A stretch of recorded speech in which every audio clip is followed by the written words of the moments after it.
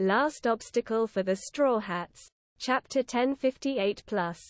Cross Guild is one of the best decisions Oda has made in my opinion. I believe that they will be the final obstacle for the Straw Hats, mainly the top four Luffy, Zoro, Sanji, and Jinbei. Main reason being that Zoro needs to defeat Mihawk by the end of the story anyways, so why not have matchups for the others? I was thinking a rematch between Luffy and Buggy, Jinbei vs Crocodile, and a rematch between Sanji and Doflamingo.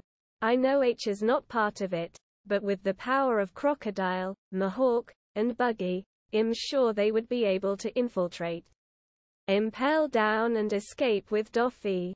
Maybe they will fight them on Laugh Tale which would make sense as Buggy, Mihawk, Crocodile, and Doflamingo were all at the Pirate King's execution, and by the end, they will be at the R emergence of a new Pirate King.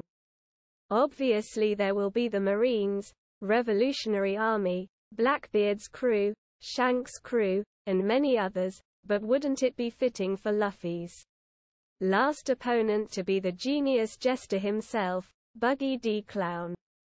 Honestly, Doflamingo did Sanji dirty in Dressrosa, and I just want to see a rematch.